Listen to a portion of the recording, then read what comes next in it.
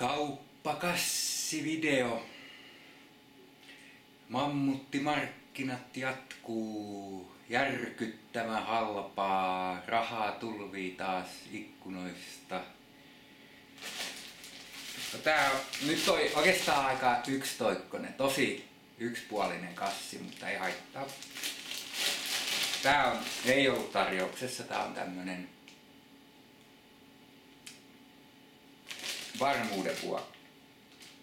Tää on se, että jauhelihaa ja tätä, niin tää on hyvä olla tuo aina jemmassa. Mutta jauhelihaa ei ollut tarjouksessa, niin en mä turhasta ostaa sitten kalliin. Ei sen takia kannata ostaa. Mutta toihan voi olla siellä odottamassa sitten, kun tarri, jauheliha on tarjouksessa, niin sitten se on siinä. Ja sitten ei ollut tääkään ei ollut tarjouksessa, mutta maailman parhaita tämpylöitä.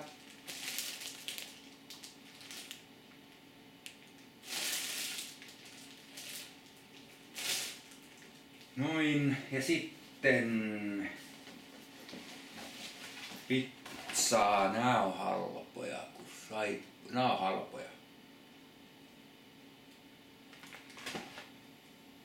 Täytteitä ei juurikaan ole, mutta mutta nämä on, jos tämä maksaa euron, niin kyllä tämä, ei tämä voi olla huono ostos. Semmonen Eines-pizzakin maksaa jo euron, ylikin. Niin eihän tämä voi mitenkään olla huono ostos. Ja nyt nimenomaan taas, niin kuin, että laiskahi, ettei osaa tehdä ruokaa ja ei jaksa tehdä No on siinä nyt jotain, mutta ei se... Niin paksu pohja ja sitten täytteitä ei... Ainakin tuosta, katsotaan vielä toi toinen. Kyllä tästä niin näkee se läpi oikeastaan se pohja. Ainakin joskus nähnyt. Nyt ei näe, kun se halutaan, että se näkyisi.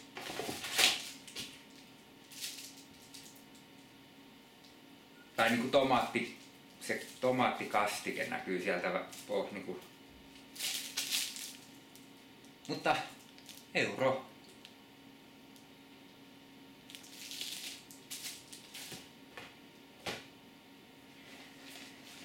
Ei se niin hyvä ole kuin pizzerian 7 euron pizzaa.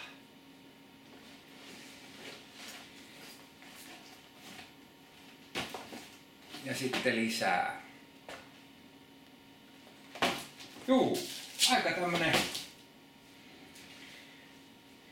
niinku vaatimatta, aika vaatimatta tai tämmönen joku. Mutta näitä siis, tää on ehkä nyt enemmänkin semmonen, että on sitten niinku,